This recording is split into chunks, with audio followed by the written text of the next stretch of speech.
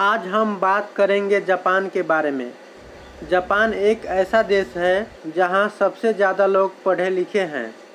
यहाँ की साक्षरता दर की बात की जाए तो लगभग 100 परसेंट है।